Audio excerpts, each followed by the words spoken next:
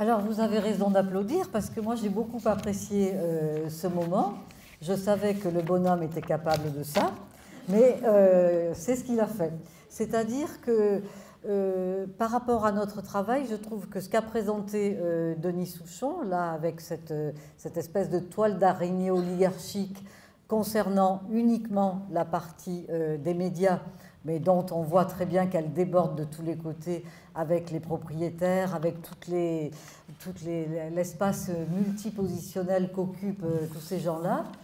Euh, il vous a montré euh, le fonctionnement de la classe dominante et vous, vous avez les moyens parce que vous baignez là-dedans avec les, la radio, la télévision, c'est votre univers quotidien de, d'intoxication, si je puis dire, de propagande. Et du coup, là, il vous a donné plein de clés pour comprendre comment euh, la classe dominante, elle est mobilisée d'une façon incroyable. C'est-à-dire que rien n'est laissé au hasard. Ils sont mobilisés dans tous les instants et sur tous les fronts. Et euh, depuis les, les pas tout retenu ce que tu as dit, mais les éditocrates, les sondologues, euh, bien entendu les propriétaires, les dirigeants, les comités d'éthique, c'est absolument extraordinaire comment ils, il quadrille, euh, toi tu as parlé de cercle de la raison, enfin comment il, il prédate, il s'accapare absolument euh, tous les pouvoirs et il ne laisse absolument rien au hasard. C'est une classe sociale, alors plus largement euh, que l'aspect simplement médiatique, mais j'ai trouvé l'exposé de Denis Souchon particulièrement intéressant parce qu'à la fois il, a bien montré euh, le, fonctionnement général euh, des médias et il les a toujours incarnés en donnant des, trajectoires euh, précises.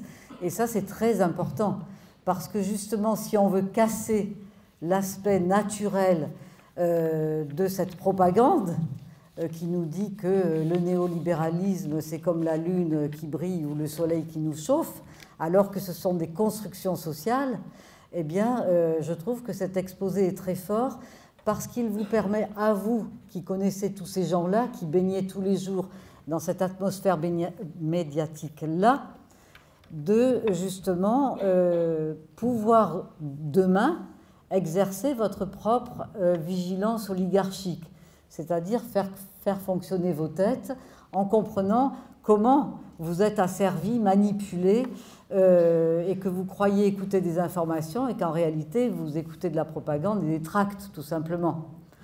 Alors, euh, donc ça, ça me faisait plaisir de dire ça, parce que nous, avec Michel, c'est à la fois mieux et moins bien que ce qu'il a fait.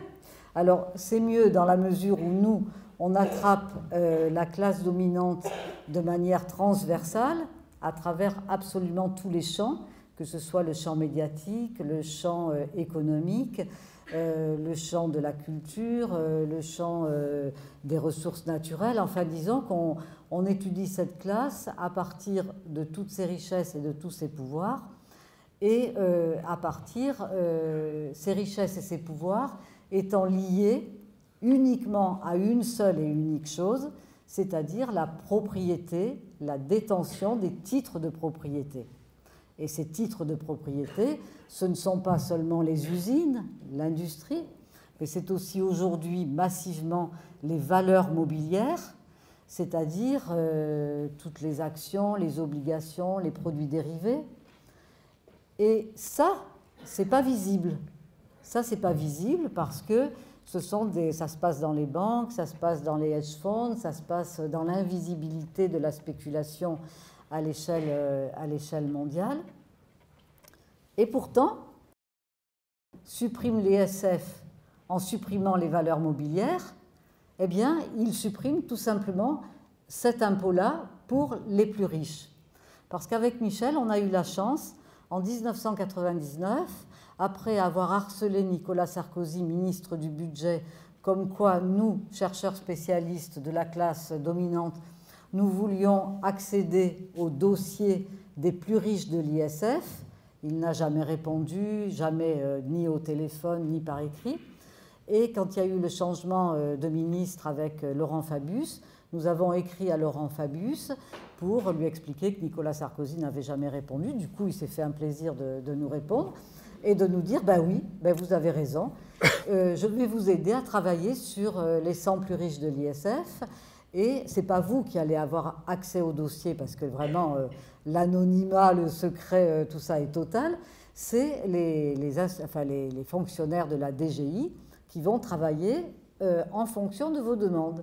Et donc, on a fait un certain nombre de demandes, dont notamment avoir accès à la composition, au, montant, au pourcentage euh, euh, des, valeurs mobilières.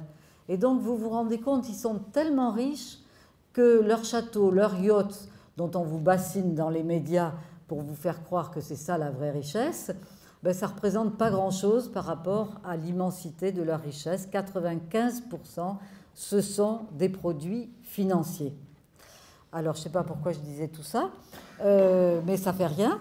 Euh, c'était pour dire que voilà, nous, on, travaille sur la transversalité de la classe dominante et donc aussi bien sur les propriétaires de médias que sur les propriétaires d'usines, que sur les propriétaires euh, de, valeurs mobilières, des ressources agricoles, euh, des propriétaires de, vente aux enchères, euh, le monde des collectionneurs d'art et le monde des grandes fortunes, euh, des écoles privées. Enfin bref, aujourd'hui, on peut dire qu'ils contrôlent absolument tous les domaines de l'activité économique et sociale, qu'ils ne sont jamais rassasiés et qu'avec l'arrivée du jeune banquier de chez Rothschild à l'Élysée, eh bien, c'est la marchandisation généralisée qui nous attend, qui est déjà en route, c'est-à-dire y compris des services sociaux et euh, des services publics.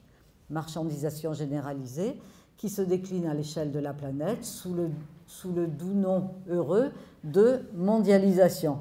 Ce n'est pas du tout la mondialisation, c'est la marchandisation généralisée.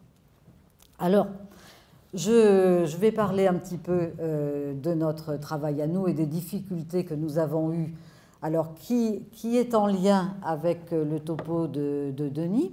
Parce qu'évidemment, ce relais médiatique, cette propagande, ce totalitarisme, parce qu'il faut appeler les choses par leur nom, on nous dit qu'on est sous une, dans un régime démocratique, mais ce n'est pas du tout le cas.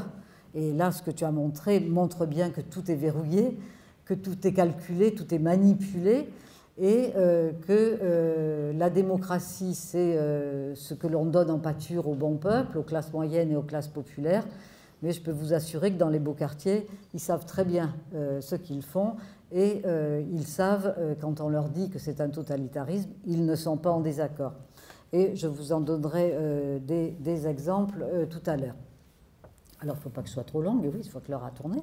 Donc, je vais simplement dire très rapidement qu'avec Michel, on a eu beaucoup de mal, malgré notre statut de chercheur au CNRS, euh, à travailler sur la classe dominante, parce que c'était un sujet euh, tabou. En 1986, quand nous décidons de travailler, nous sommes 500 sociologues au CNRS et 500 sociologues à l'université. Et ceux qui, autour de Pierre Bourdieu, avec Pierre Bourdieu, travaillent sur les dominants pour pouvoir analyser enfin les rapports de domination dans toutes leurs euh, contradictions et dans leur antagonisme et pas seulement sur les dominés, eh bien ces gens-là se comptaient sur les doigts d'une seule et unique main. Est-ce que vous vous rendez compte euh, du poids de la domination symbolique sur euh, le monde des sociologues qui sont des, professionnels qui sont très proches des, journalistes, du monde des médias, parce qu'on travaille tous sur les problèmes de société. Et donc, il y a beaucoup d'allées et venues, de, systèmes de porosité dont euh, je vais essayer de parler. Euh, mais euh, les, raisons du très peu de, de, recherche sur la classe sociale dominante, la classe oligarchique, dont la seule définition est une définition pour moi marxiste et bourdieusienne, ce sont les détenteurs des moyens de production qui leur permettent d'exploiter ceux qui n'ont que leur force de travail.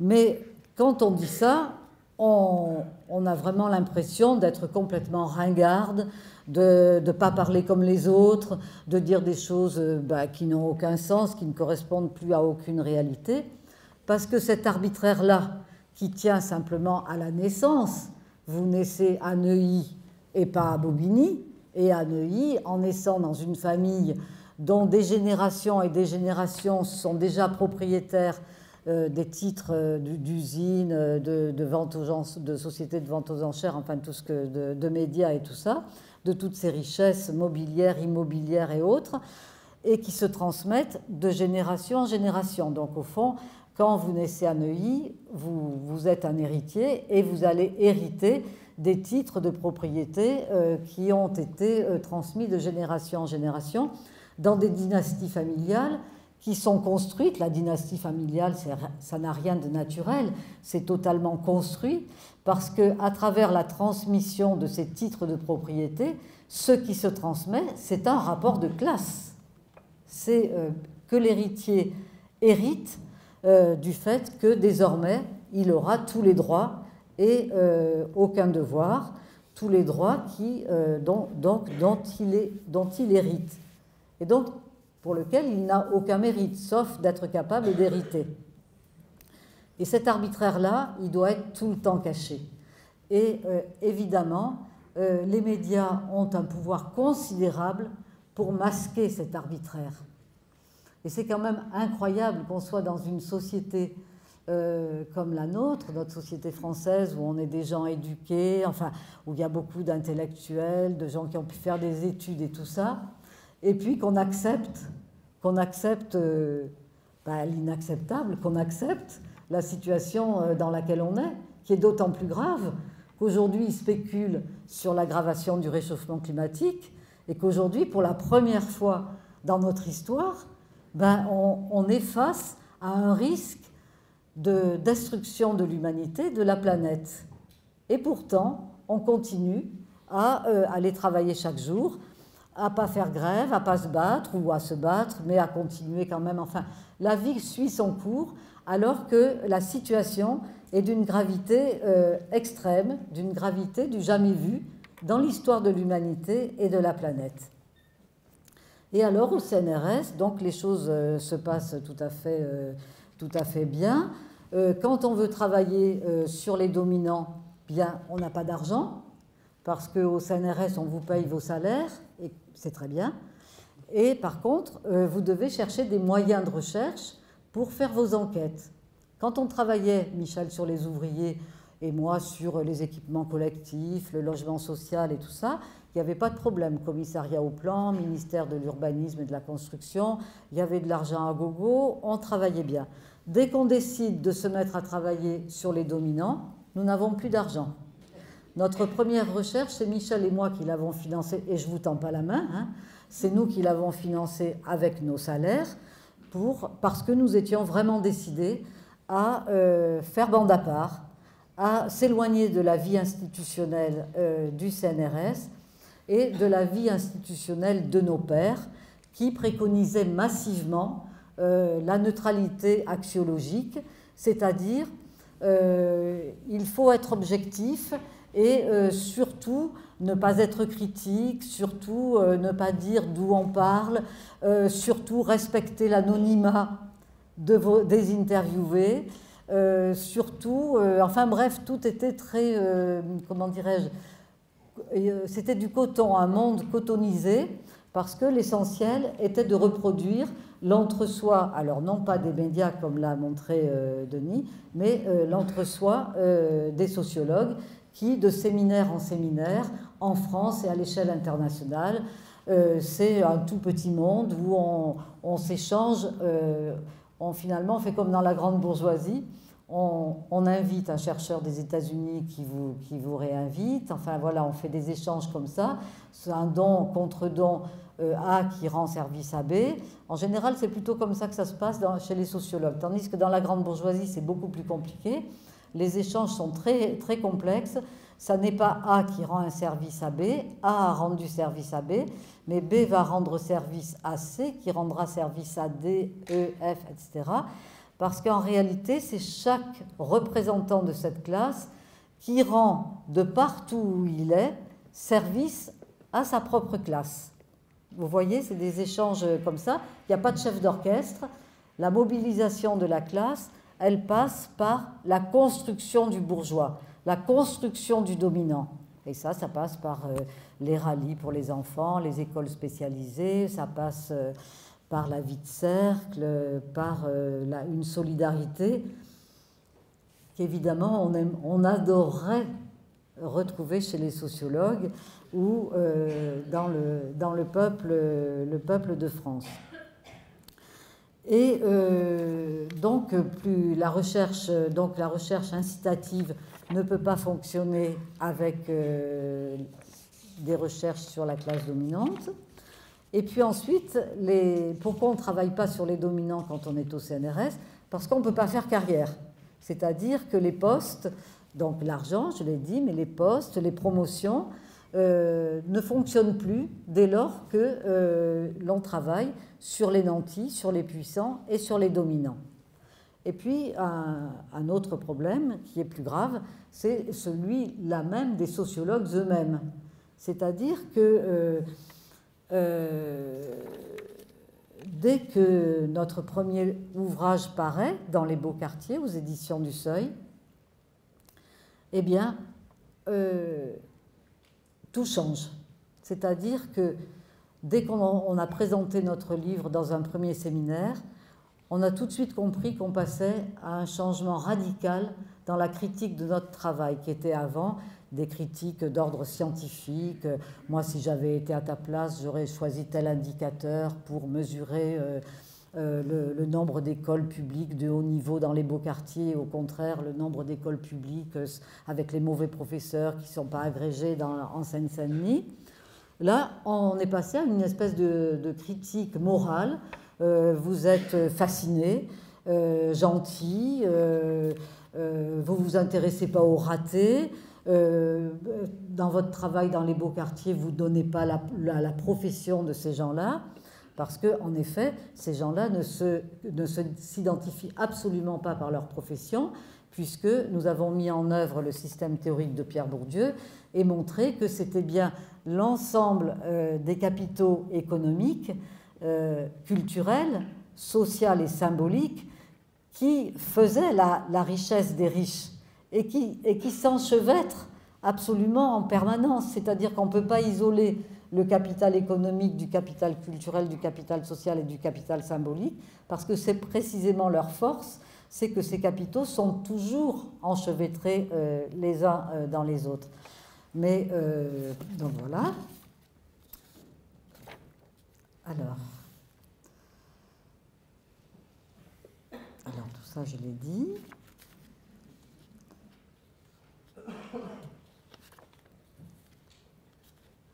Alors, par rapport aux médias, dès qu'on a publié, donc nous avec Michel, on était des, chercheurs euh, timides, des chercheurs modestes. Des chercheurs, on faisait notre boulot, c'est tout, on était rentrés au CNRS en manifestant dans la rue, on était des, chercheurs hors statut, et puis on, a, on, a, gueulé dans la rue pendant des mois pour demander à être intégrés au CNRS.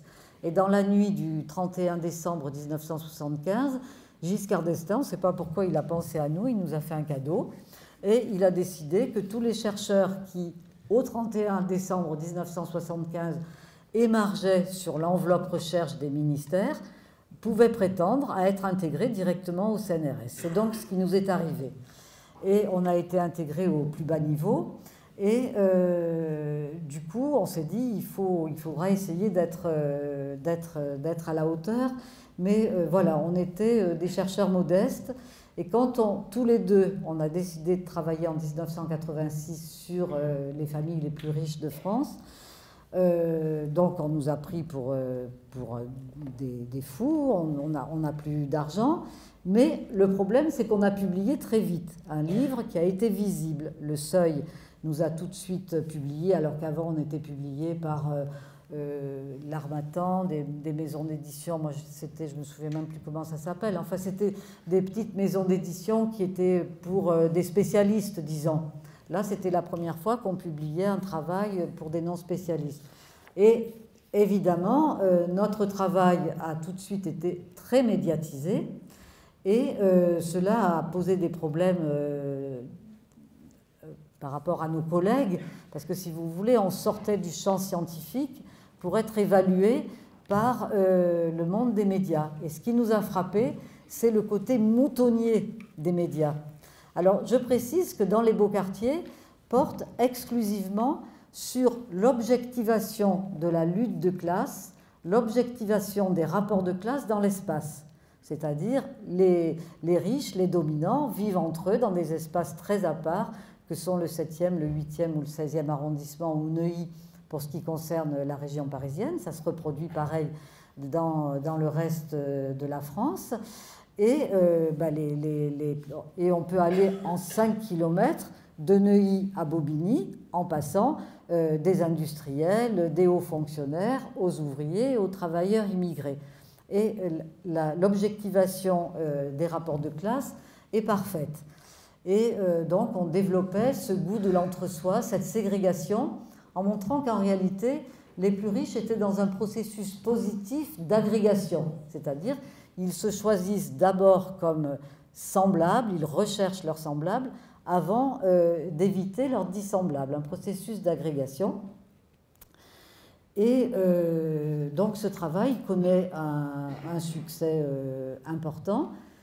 Et c'était vraiment marrant parce que que ce soit le Nouvel Observateur, le Point, euh, les articles étaient tous les mêmes, euh, se ressemblaient tous, et les photos étaient toutes les mêmes, elles étaient toutes prises des, grands prix hippiques de, Chantilly, vous savez, quand les, les, les enfin tout ça.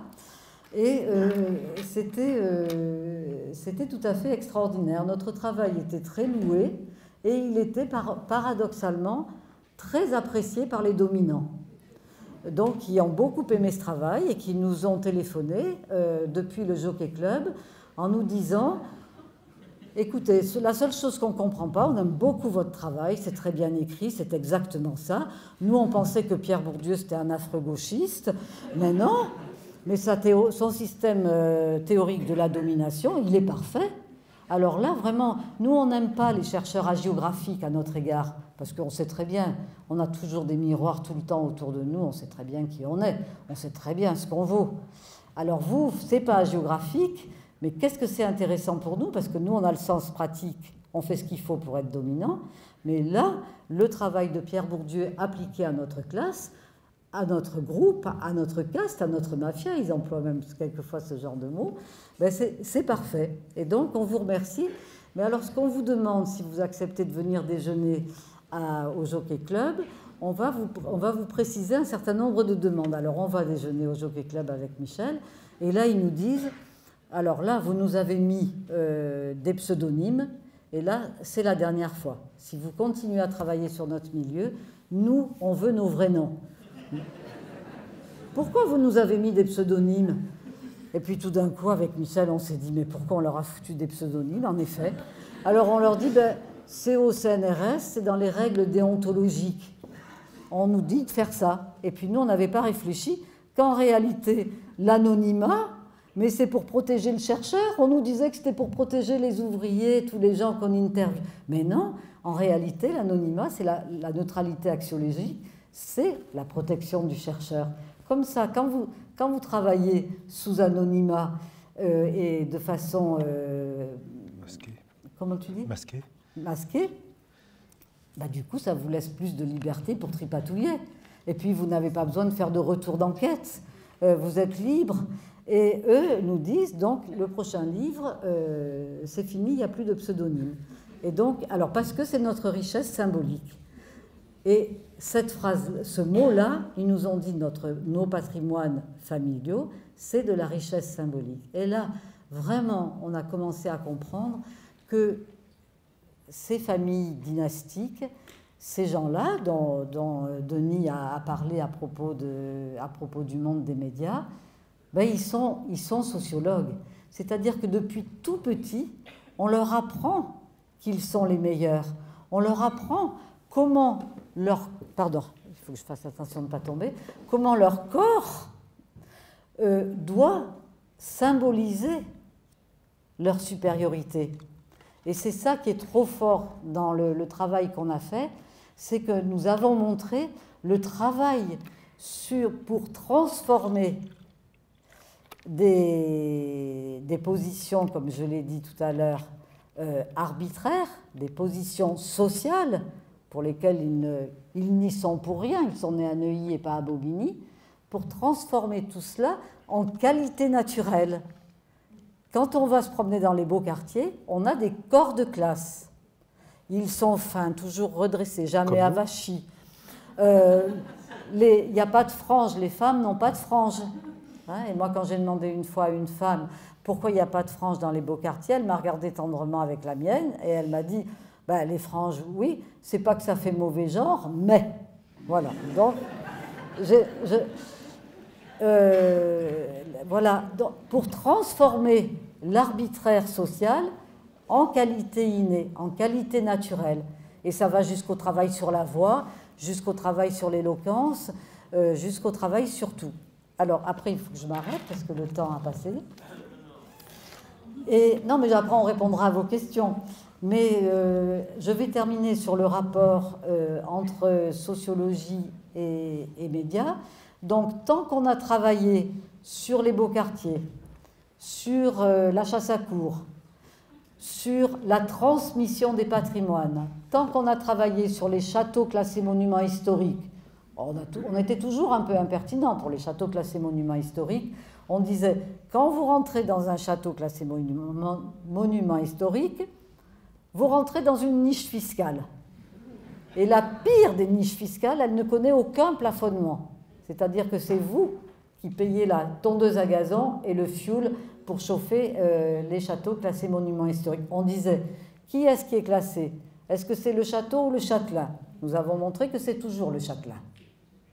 Vous voyez les réseaux sociaux qui permettent d'avoir son château classé parce que le châtelain fait partie euh, de l'oligarchie.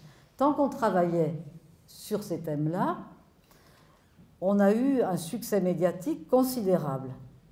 À partir du moment où en 2007, nous partons à la retraite, Michel a 65 ans et moi je devance l'appel, je n'ai que 61 ans, ça ne faisait pas une grosse différence, mais enfin j'ai devancé l'appel et euh, pour bénéficier euh, de la liberté, la liberté de travailler comme on voulait. Parce que si vous voulez, chaque fois on sentait euh, qu'il y avait des plafonds de verre, qu'on ne pouvait pas tout faire. Alors, à, partir de là, plus de devoir de réserve vis-à-vis du CNRS, nous voilà libres, heureux, ça, ça se passe très bien, ça coïncide avec pile l'arrivée de Nicolas Sarkozy à l'Élysée. Et là, eh ben, on fait notre petite bombe, le président des riches. Je ne sais pas si vous vous rappelez de notre livre. Et alors là, le rapport aux médias a complètement changé et n'a cessé de se, de se reproduire euh, dans le clivage, c'est-à-dire euh, la presse de gauche euh, trouvant notre travail formidable parce que dévoilant le fonctionnement de, cette classe, et euh, la, presse de droite, au contraire, nous vilipendant comme étant des militants engagés, euh, euh, pas neutres.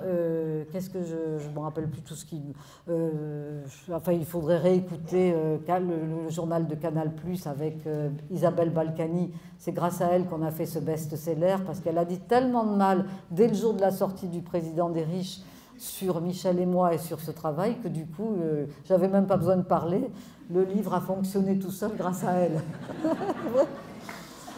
Euh, et, donc, oui, c'est ça. Alors donc, euh, aujourd'hui, alors je voulais, je vais, je vais quand même conclure. Oui, non, c'est trop long. Ça va être trop long. Donc, je vais m'arrêter là pour dire simplement que au sein de la sociologie, il y a des clivages, vous avez dû en entendre parler euh, des, querelles au sein de la sociologie entre justement ceux qui défendent le néolibéralisme, euh, euh, qui sont engagés dans les médias, qui sont engagés dans des conseils d'administration, qui sont des, des faire-valoir, enfin qui, des serviteurs de l'oligarchie, et puis ceux qui continuent à ramer dans la sociologie la vraie sociologie, parce que ce n'est pas la sociologie critique. Pour moi, il y a, la sociologie, c'est un sport de combat, ça ne peut être que critique. Je ne peux pas la penser autrement.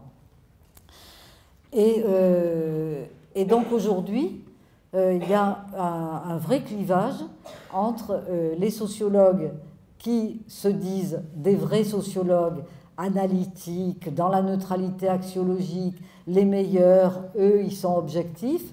Et puis ceux qui pratiquent comme nous la sociologie de combat, c'est-à-dire une sociologie inspirée de Pierre Bourdieu, qui est une sociologie critique extrêmement engagée, euh, mais très sérieuse aussi, hein, parce que l'engagement exige, euh, l'engagement exige que vous ne fassiez pas d'impair, et vous pouvez vous imaginer que quand vous travaillez sur les puissants, comme nous le faisons, Michel et moi, depuis 30 ans, si on n'avait pas travaillé très sérieusement, si tout n'était pas sourcé de façon impeccable, vous pouvez comprendre les, comment tu appelais ça, les poursuites baillons dont on aurait été victime.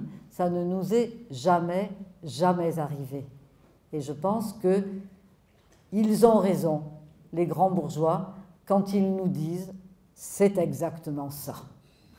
Merci.